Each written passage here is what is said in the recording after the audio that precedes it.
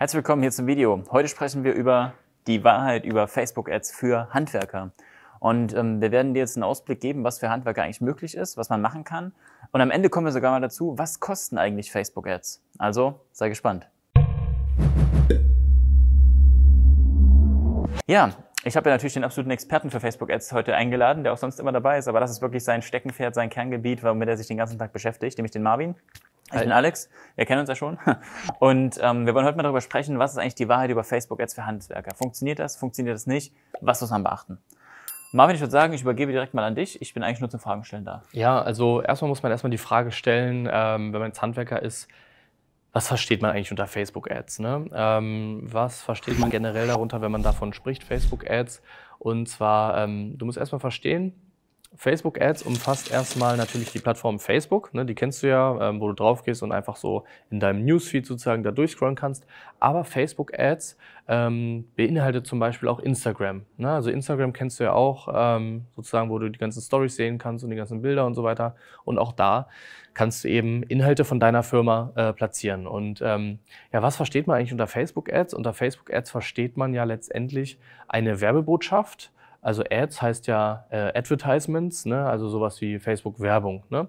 Und ähm, im Endeffekt, Facebook Ads heißt jetzt in erster Linie erstmal eine Werbebotschaft von deinem Unternehmen auf der Plattform Facebook, Schrägstrich auch bei Instagram. Ne? Und auch bei anderen Plattformen. Auch bei anderen Plattformen, genau. Das Ganze hat noch ein relativ breit gestreutes äh, Netzwerk noch, wo du auch deine äh, Werbung sozusagen ausstrahlen kannst.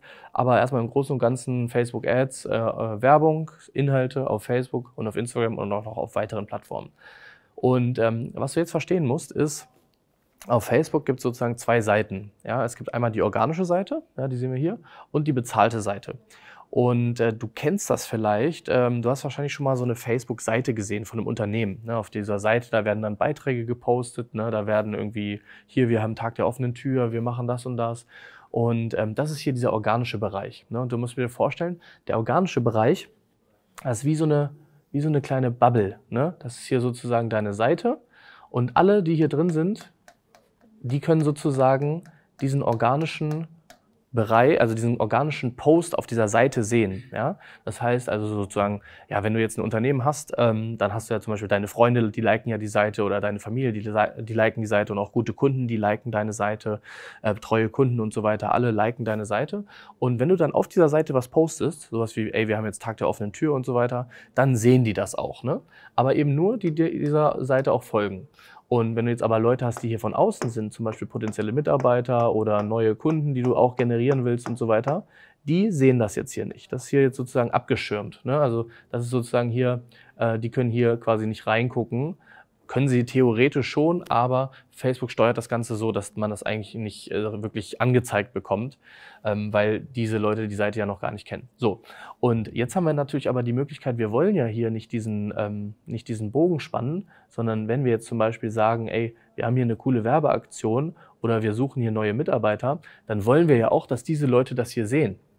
Und dafür können wir eben hier diese bezahlte Werbung nutzen und Leute auf uns aufmerksam machen. Das heißt, äh, das heißt, wir machen quasi parallel zu dieser Seite, machen wir Werbung, ähm, sodass Leute äh, eben auf uns aufmerksam werden können und unsere Inhalte sehen können. Zum Beispiel hier, wir haben eine coole Aktion für Terrassenüberdachungen, wir suchen neue Monteure, wir ähm, haben dann und dann Tag der offenen Tür, wir begrüßen auch neue Kunden und so weiter, wir haben eine coole Referenzkundenaktion und so.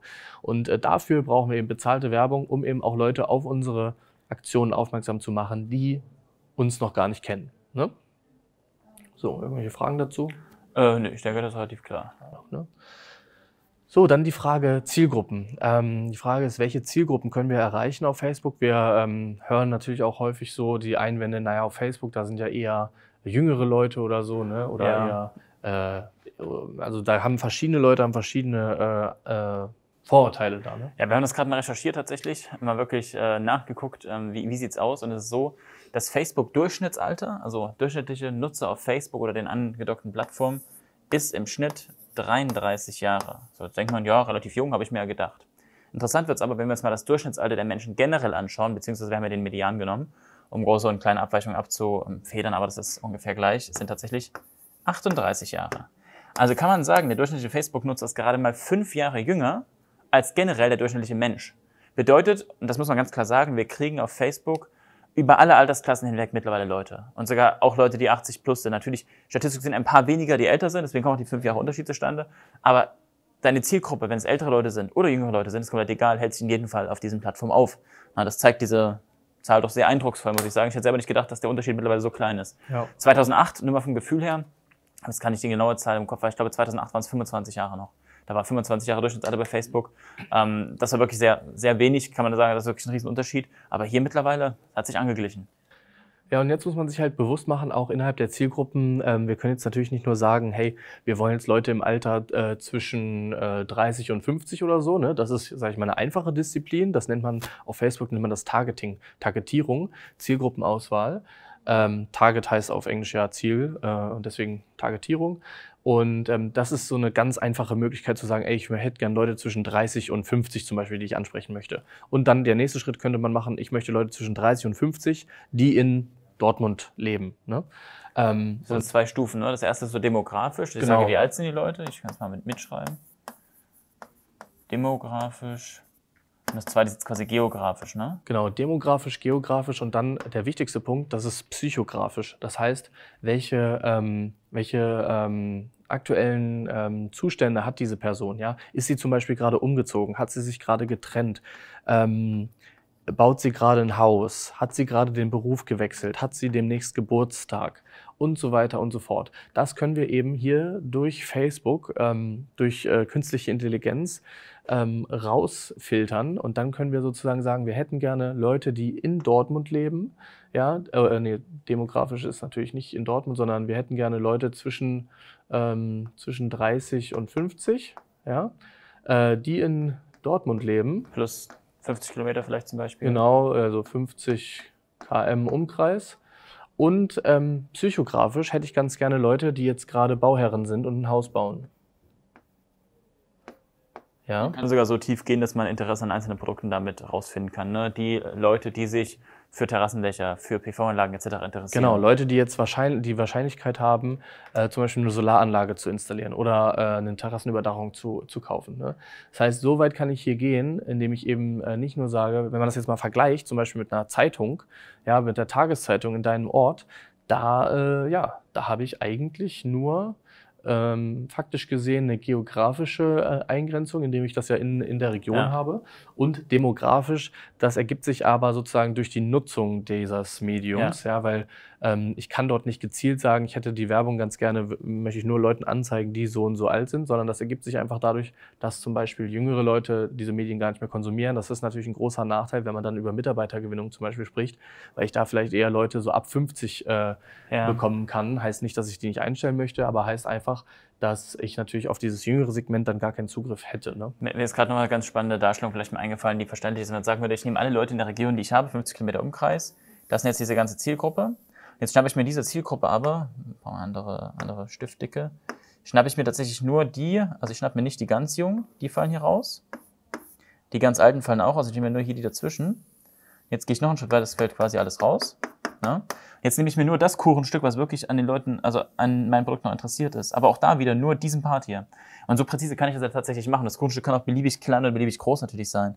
Und das sind quasi die, wo ich dann wirklich so mein, mein Zielfernrohr drauf ausrichte quasi. Ja. Ne? Also das kann man schon, das sind nur Leute in der Region schon mal generell. Also das kann man schon extrem präzise ja. dadurch machen. Also das geht jetzt hier natürlich schon äh, sehr ins Detail. Also so tief können wir darauf jetzt natürlich nicht eingehen. Wenn du da mal Interesse hast, äh, wie das genau funktioniert und ähm, wie das auch für dein Unternehmen funktionieren kann, dann melde dich gerne bei, mal bei uns. Wir können dir da auf jeden Fall äh, Tipps geben. Ja, wir, auch, wir machen auch kostenfrei initial. Genau, also ne? wir machen dann kost überhaupt was geht. kostenfreie Potenzialanalyse. Das heißt, wir schauen genau, wie groß ist hier eigentlich dieses Kuchenstück in ja, deiner Region für genau. deine Produkte. Wir gucken da genau rein, äh, welche Kuchenstücke kann man hier sozusagen auswählen und welche passen da für dich. Ne? Ähm, kannst du dich einfach mal bei uns äh, auf der Webseite eintragen. Ähm, weiter geht's aber jetzt erstmal mit ähm, den Zielen von Facebook Ads. Und zwar muss man sich natürlich die Frage stellen, was wollen wir eigentlich damit erreichen? Und ähm, in aller Regel sind es zwei Dinge. Entweder wir wollen Kunden gewinnen, ja, oder wir wollen Mitarbeiter finden und ja. äh, für uns gewinnen. Kunden gewinnen. Das können auf der, äh, auf der einen Seite natürlich Neukunden sein, aber auch Bestandskunden, die ich auch wieder reaktivieren kann.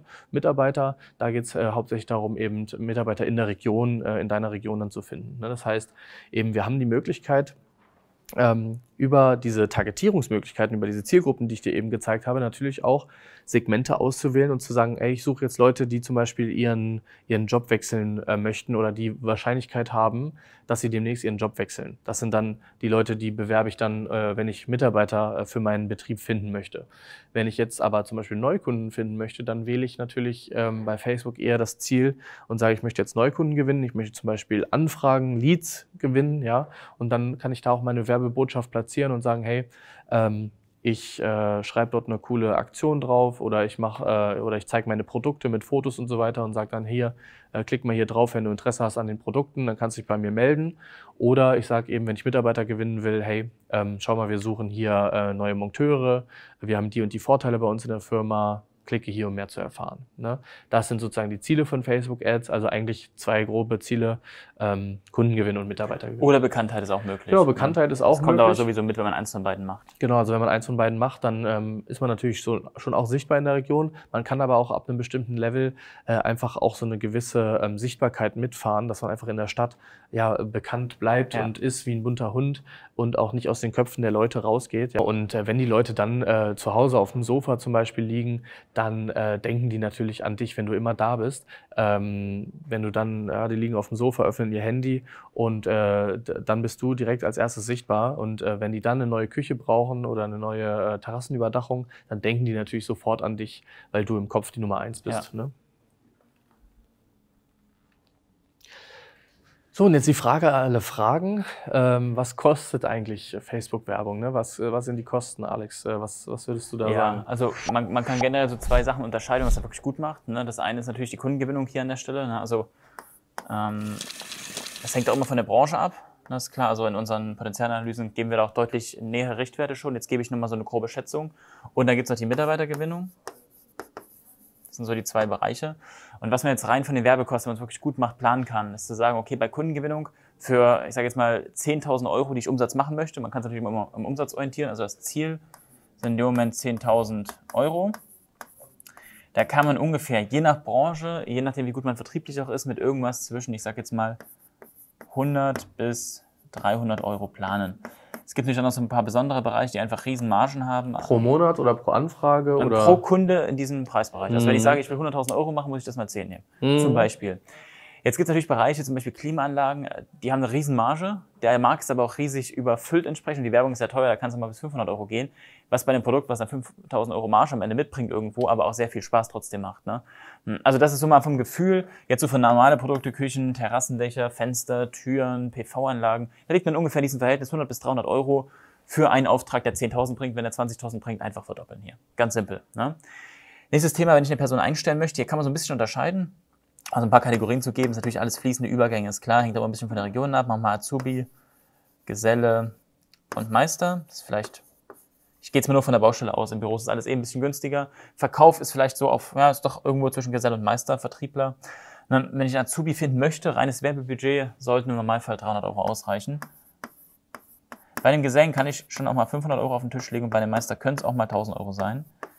Rein jetzt an Werbebudget, rein an Kosten für die Werbung, um so eine Person dann tatsächlich zu finden. Na, natürlich muss dann mal noch Zeit einrechnen, die Werbung überhaupt mal zu gestalten, hat man noch viel Lehrgeld, weil es nicht direkt ideal aufgebaut ist. Wenn man so einen Prozess wirklich ideal aufbaut, ähm, dann li- liegt man hier ungefähr bei 100 bis 300 Euro für 10.000 Euro Umsatz, insofern man die Leute auch anruft, natürlich, das ist klar, dann vertrieblich auch nachgeht. Und bei einer Azubi ungefähr 300, Gesell ungefähr 500 und Meister ungefähr 1.000 Euro, was man so für die Werbung einplanen kann. Das ist schon relativ konkrete Zahlen, das ist mir auch klar. Wir haben mal Partner, die stellen zwei Meister für die 1.000 ein. Wenn man mal einen ruft, die Leute nicht schnell genug an, der braucht dann 1.400 Euro. Aber damit kann man ungefähr rechnen. Wenn man seinen Job dann gut macht auf der anderen Seite, dann kommt man eigentlich immer in diese Werte ungefähr rein. Und je länger man das natürlich nachmacht, desto günstiger wird, das ist auch klar. Weil du einfach Bekanntheit aufbaust, damit mehr Vertrauen aufbaust und sich einfach auch mehr Leute melden. Sehr gut, dann haben wir auch die Frage der Fragen geklärt. Was kosten Facebook jetzt? ich ähm, hoffe, da war einiges für dich dabei und du hast einiges mitgenommen. Vielleicht auch ein paar eigene Glaubenssätze, gerade in Bezug auf Alter zum Beispiel, vielleicht nochmal aufgelöst irgendwo. Und wie gesagt, wenn du Interesse hast, das würde ich einfach mal dazu beraten, für dich mal eine individuelle Strategie entwickeln. Das ist jetzt ja alles natürlich sehr allgemein gehalten. Ähm, wie gesagt, bieten wir kostenfrei an so eine Strategieentwicklung. Melde dich einfach auf unserer Website amantonmatte-berater.de. Da kannst du dich jederzeit anmelden. Und ansonsten wünsche ich dir erstmal einen schönen Tag ne? und ähm, viel Erfolg, wenn du in Zukunft mit Facebook jetzt an den Start gehst. Und wir sehen uns in den nächsten Videos. Bis dann. Ciao.